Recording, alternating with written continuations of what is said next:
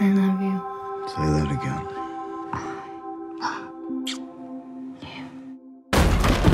You're under arrest For for the murder of Roland LeGrand. You got the wrong guy, pal. I was with her all night. Come on, let's go. This is a frame up. Hey, Pop, you all right? Got any money? Get some. Never escape without it. Louis Dega. Guy's a millionaire. Won't last long.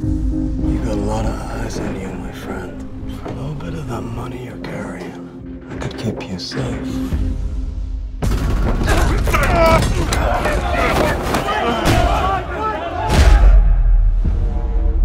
Keep me alive. I'll underwrite any escape you care to arrange. Something tells me you can be quite savage.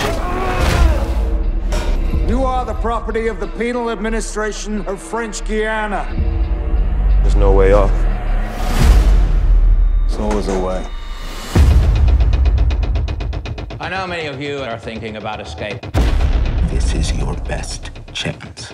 Feel free to try whenever you like. I mean to go with you. There are two guardians who are always on duty. Bush, where the best thing that can happen to you is starvation. Or you could choose the sea, What's it good for? He's my friend. where the sharks are always hungry. If you manage to survive your first attempt, you'll get two years in solitary. Second attempt, you'll get a life sentence at Devil's Island. Strange things happen there. Especially to those who cling to hope.